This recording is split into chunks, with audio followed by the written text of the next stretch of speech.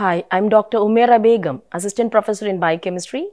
In this lecture, we are going to see about carnitine shuttle mechanism, a crucial step in the beta oxidation of fatty acids, which is required for the energy production in cells. At the end of this lecture, you will be able to recall the structure and functions of carnitine, its role in the beta oxidation of fatty acids, the steps involved in the carnitine shuttle mechanism along with the enzymes involved and also you will be able to predict the metabolic changes due to carnitine deficiency and its management. A carnitine is a protein whose chemical name is beta hydroxy trimethyl ammonium butyrate. This is required for the transport of long chain fatty acids from the cytosol into the mitochondrial matrix. Carnitine is provided by the diet or it is synthesized in the cells from amino acids lysine and methionine in liver and kidney. Carnitine is concentrated in tissues like skeletal and cardiac muscles. As already told, the main function of carnitine protein is to transport long chain fatty acids from the cytosol into the mitochondrial matrix which is required for subsequent beta oxidation and to provide energy. So, the carnitine shuttle mechanism as already informed is required for the transport of long chain fatty acids from the cytosol. Why is it so? Because fatty acids are synthesized in the cytosol and it is available there. But the beta oxidation can take place only in the mitochondria where the enzymes required for beta oxidation is located. So, this fatty acid has to get transported from the cytosol into the mitochondrial matrix.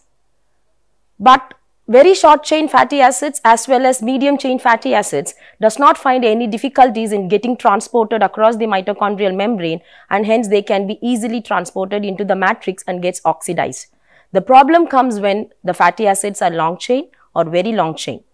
They cannot get transported into the mitochondrial matrix because the membranes will not allow them to enter as they are impermeable to them. So how can these long chain fatty acids enter into the mitochondrial matrix? Now comes the role of our carnitine transporter protein. So this carnitine shuttle mechanism involves three enzymes which helps in the transportation process. Those enzymes are carnitine acyl or palmitoyl transferase 1 which is located in the outer mitochondrial membrane, carnitine acyl or palmitoyl transferase 2 which is located in the inner mitochondrial membrane and also carnitine acyl carnitine translocase also located in the inner mitochondrial membrane. So these are the steps involved in the carnitine shuttle mechanism at the end of which the acyl-CoA which is present in the cytosol get transported across the membrane of the mitochondria into the mitochondrial matrix. So here we can see the fatty acid, free fatty acid has to get first activated into acyl-CoA. This takes place in the cytosol by the enzyme acyl-CoA synthetase.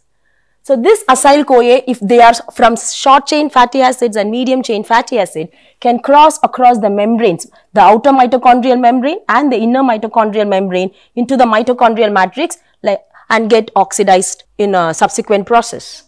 The problem comes if this acyl-CoA is from very long chain fatty acids or long chain fatty acids. So this acyl-CoA now takes the help of carnitine shuttle mechanism which involves these three enzymes CPT1, CPT2 and the translocase enzyme. So first what happens? This acyl-CoA combines with carnitine which is a protein which is the transporter protein located in the cytosol. So this acyl-CoA combines with carnitine to, and gets converted into acyl-carnitine. This acyl-carnitine with the help of the translocase enzymes get translocated into the mitochondrial matrix.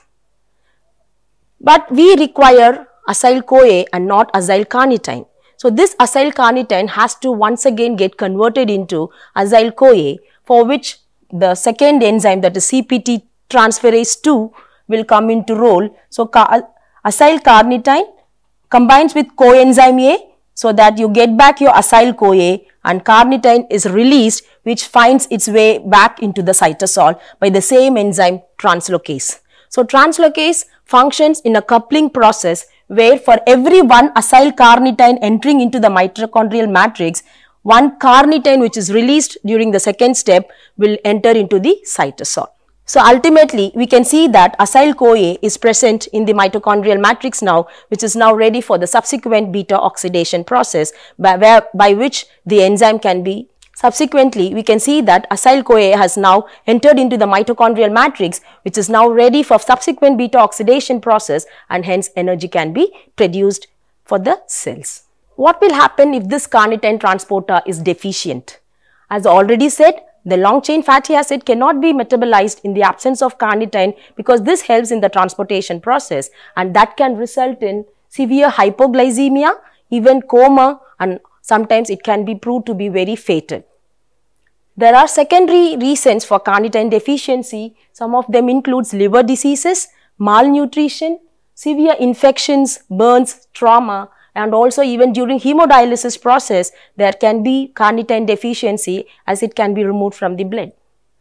The treatment is not complete but it, it can be managed to some extent by avoiding prolonged fasting and also adopting a diet which can be high in carbohydrates and medium chain fatty acids instead of long chain fatty acids. So to conclude, we have seen in this lecture that fatty acids which are activated in the cytoplasm can enter into the mitochondrial matrix with the help of this carnitine shuttle mechanism which involves three enzymes CPT1, CPT2 and translocase through which this acyl-CoA finds its way into the mitochondrial matrix and that can be used for further beta oxidation and energy production in the cells. And also we have seen about the deficiency and its treatment process. So these are the frequently asked questions regarding this particular topic and the references which was used to prepare this lecture are these, the web sources as well as the books. So thank you.